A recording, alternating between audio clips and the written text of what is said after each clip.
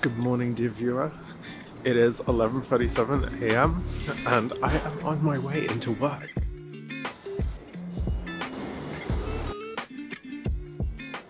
As I navigate the MTA's underfunded tunnels, let me get you up to speed on my internship. So I'm a student at Rhode Island School of Design and this is my penultimate week living in New York, pseudo freelancing for this company, upcycling deadstock silk scarves into women's wear. Not bad at all for a sophomore. The offices are right by Times Square, so when I'm going in in the morning it's usually really quiet and then when I come back, it's absolutely bustling. I can't stand it. Today is Friday, so it's my day off, but since the offices are open, I'm headed in to use my little glamorized cubicle of a studio and work on my upcoming runway show I will be showing in the spring. Have a good day. Yes.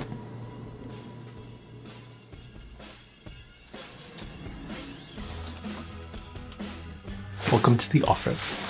You know when you've just been kind of living your life and then you realize that your space is actually extremely messy and you're gonna have to clean it all up?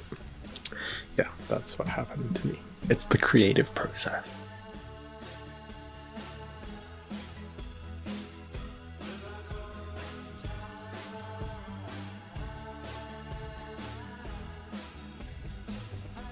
Inspired by all the different colors of scrap denim I got from Fab Scrap a few videos ago.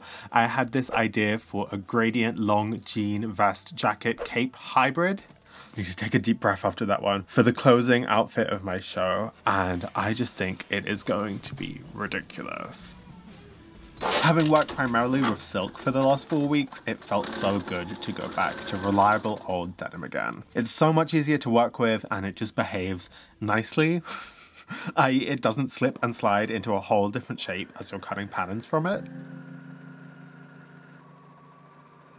I had really fallen into a good rhythm of like cosplaying the corporate lifestyle at this point. Meal prepping, lunch breaks, timesheets, and other bureaucracy just fell away. It was second nature, and I was able to spend so much time in this flow state, sitting quietly, sewing and serging and pattern cutting. Like, I do not think I have had this level of immersion and freedom to focus on one project ever before, and I was excited to bring these lessons back to art school with me.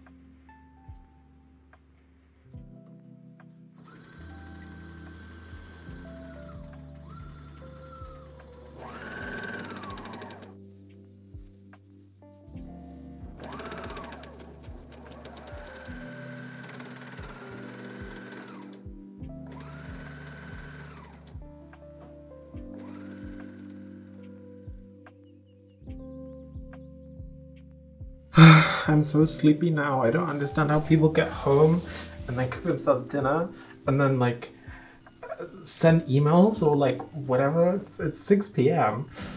And I'm, I'm like one of the first people to leave the office. How does it work? Unless you have a partner.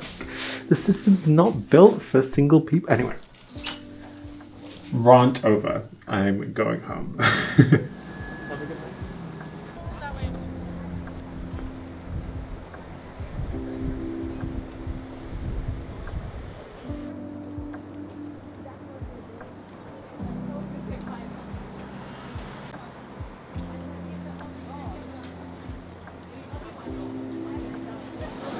it's almost been comical how hard it's been to like cobble together the bits of machinery like irons and steamers and cutting boards that I need to like actually be able to make stuff. Because all of the work they do in the office is just basically colonialism. Like they design things on CAD and then they send it off to the factories and then they get the samples back in. I don't know. I love that it's a family owned business. I'm really glad I'm not working for some big conglomerate. Like no shade to them. They're doing business however they you know they're doing business in the way that is profitable right now and in the way that the system encourages them. But ethically I just can't deal with it. There must be a better way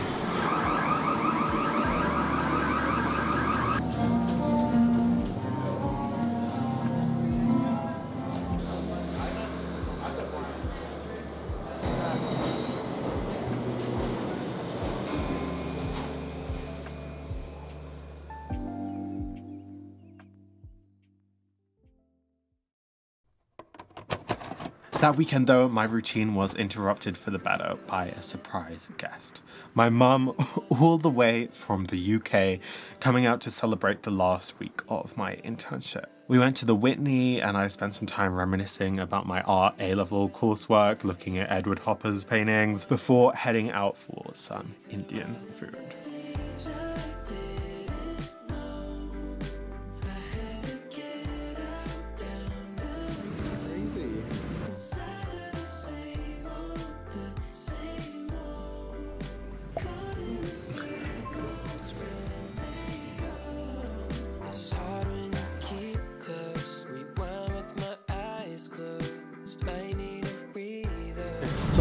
Unbelievably cold today that New York is literally like the Arctic tundra. Thank you so much. My mom surprised me by coming out from London to New York for like five days. So I just had dinner with her, which was really lovely and um, yeah, because I'm planning to stay in Providence over the majority of the summer, so I wouldn't be seeing her for like eight months or something ridiculous. And so she just booked a last minute ticket and came out. Like, what? Friday night is unequivocally drag race night. Come at me.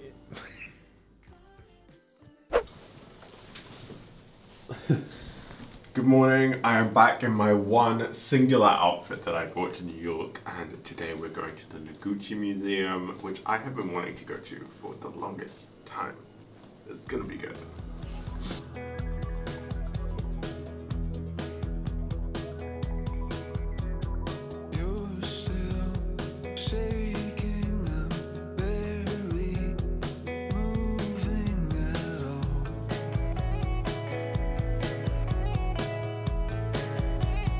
I just hadn't had any sort of leftover capacity to do the touristy things on my bucket list, so having an excuse to go out from my friend's place where I was staying gave me that push I needed to get out of that damn apartment.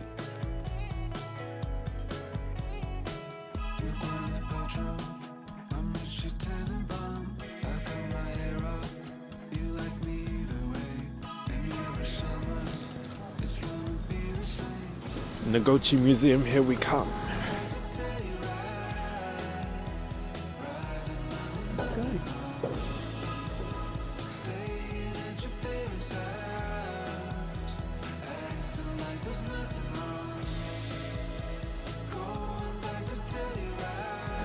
Oh, back out into the cold.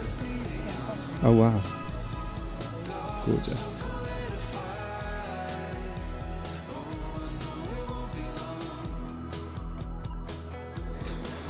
Excuse the overhead lining, but this is such a beautiful space. I love it.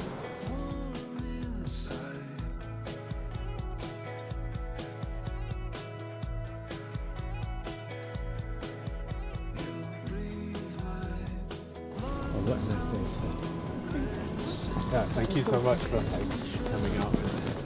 Otherwise, I would be really bad.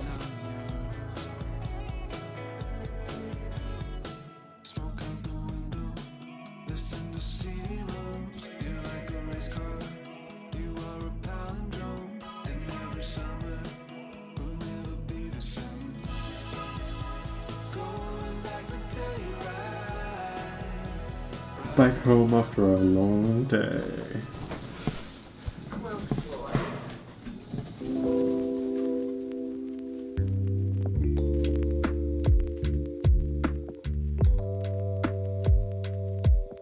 The next day, we went out to this vegetarian Chinese restaurant and made the fatal error of mistakenly deciding to walk over the Brooklyn Bridge. It was so touristy, I I just could not deal with it. Like that was probably the most people I've ever seen for two years.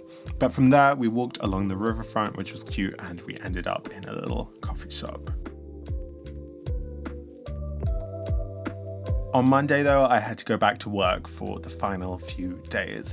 And after some sewing machine maintenance, I made these cute harem pants. Am I saying that right? Hopefully I'm saying that right. From two scarves and a bit of elastic before going home to say goodbye to my mom.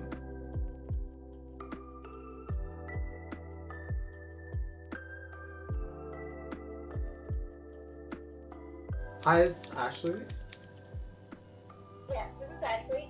Uh, yeah, it's, uh, it's Buzzy here. I emailed you earlier with my resume about volunteering to help you in Fashion Week.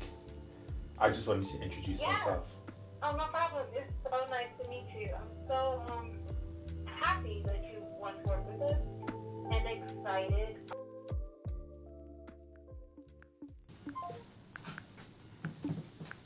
Sugar, you got that something special. It's my last day of this internship, which is really good news because I am tired.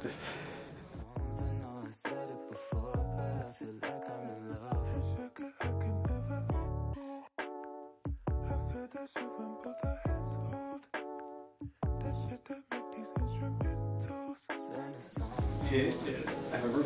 but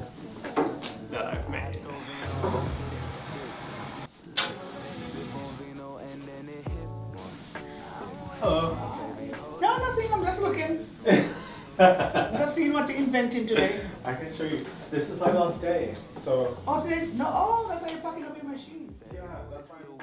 All she wanna do is listen to Able. If you willing and able, just give me my space. I know that shit makes One of the seams just popped on this dress, so I'm just gonna fix it and then have to clear up this mess as well.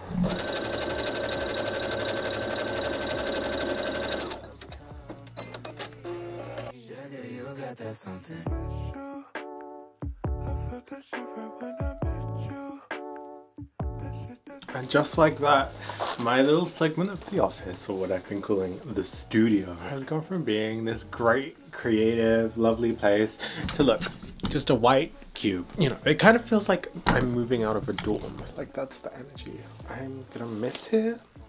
But six weeks into this internship, it's enough. okay, it's my fashion week debut. I don't know how much I'm going to be able to film today, but hopefully there'll be enough to show you what it's kind of like backstage.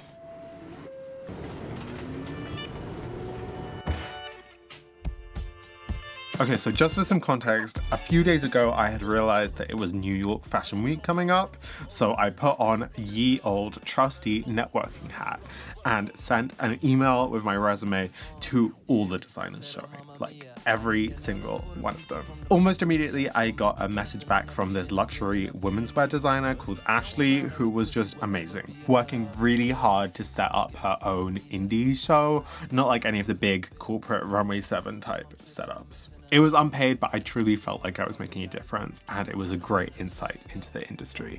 So I will be back to help her out in September for sure. So many bags! but my bread machine home in Providence was calling, so I struggled my way to the Moynihan train hall with my whole studio in tow and lay back on the Amtrak as I watched the New York skyline slowly fade out of sight.